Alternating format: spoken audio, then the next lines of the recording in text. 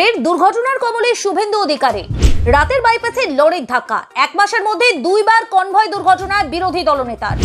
নিছকে দুর্ঘটনা নাকি অন্য কোনো কারণ? আরও একবার দুর্ঘটনার মুখে পড়লেন শুভেন্দু অধিকারী। তার কনভয়ে এসে ধাক্কা মারলো একটি লরি। এবার দক্ষিণ কলকাতার রাস্তায় এই দুর্ঘটনা ঘটেছে। এক মাসের মধ্যে পরপর দুবার শুভেন্দু অধিকারীর কনভয়ে দুর্ঘটনা ঘটলো। লরির চালককে গ্রেপ্তার করেছে পুলিশ।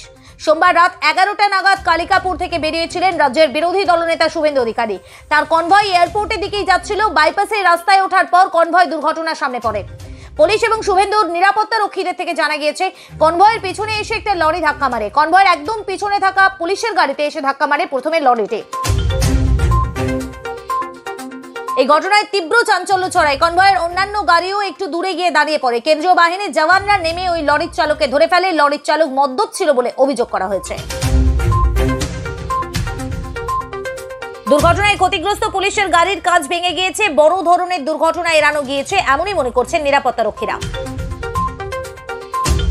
শুভেন্দু অধিকারী কনভয়ের মধ্যেই একটি গাড়িতে ছিলেন এবং তার কোনো ক্ষতি হয়নি এই খবর পাওয়া গিয়েছে। কালিকাপুর থানার পুলিশ এসে লরির চালক রামনারায়ণ রামকে গ্রেপ্তার করেছে। পুলিশের পক্ষ থেকে তদন্ত করা হয়েছে, কালিকাপুর থানার পুলিশ আধিকারিকরা ঘটনাস্থলে এসেছিলেন, লরিটিকে বাজেয়াপ্ত করা হয়েছে। শুভেন্দু অধিকারী এই বিষয়ে তেমন কিছু বলতে চাননি।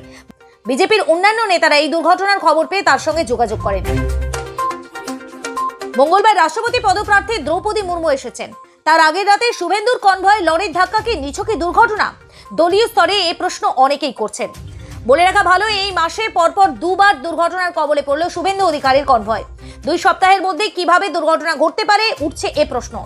এর আগে পূর্ব মেদিনীপুরের মারিসাদার কাছে জাতীয় সড়কের ওপর শুভেন্দুর কনভয় দুর্ঘটনার কবলে পড়েছিল।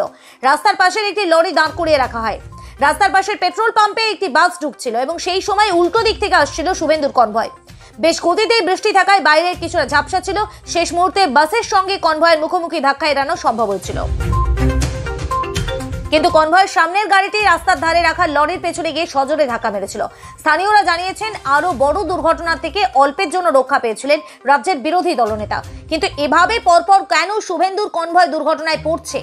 উঠছে এ প্রশ্ন। ব্যুরো রিপোর্ট, আজ বিকেল।